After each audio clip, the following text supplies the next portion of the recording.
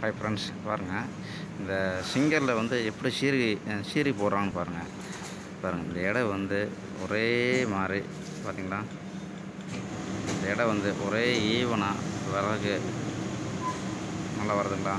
நெக்கில் வந்து இந்த மாதிரி சீரி போடுறது இதுதான் வந்து குதிரைங்க சீரி குதிரைங்க.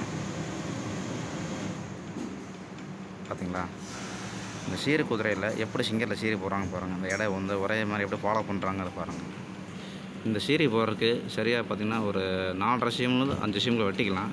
இந்த தையலை சீரி போடுறதுக்கு நல்லாயிருக்கும். இதுதான் துணியோட அளவு வெட்டுற அளவு.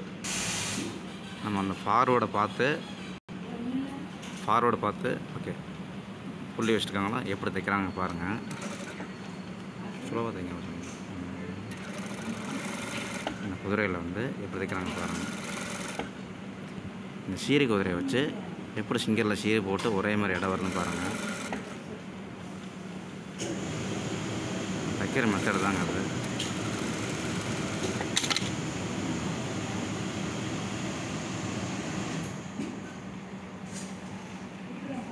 இப்போ உருட்டுறாங்க பாருங்கள் இப்படி எதுக்காக உருட்டுறாங்கன்னா உருட்டினால துணியை இழுத்து டைட் பண்ணணுங்க. டைட் பண்ணால் தான் பின்னாடியே வந்து ரெண்டாவது தையல் போடும்போது துணி லூஸ் வராது. இந்த குதிரைக்காக பார்த்தீங்களா? இப்போ ஒரே மாதிரி போகுது.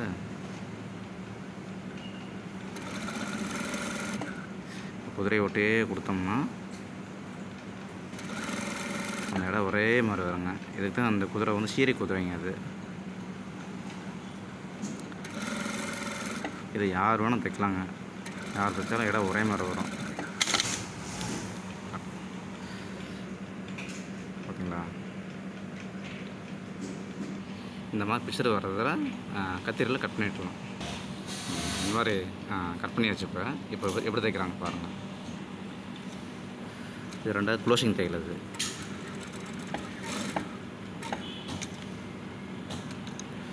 இந்த ஃபேப்ரிக்கை பின்னாடி இழுத்து அதே மாதிரி தாங்க.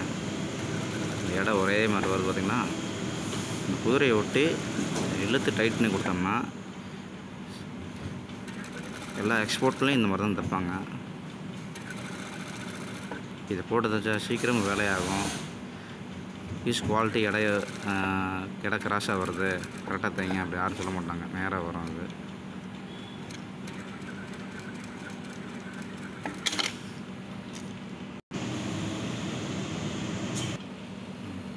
ஓகேங்களா? அவ்வளோதாங்க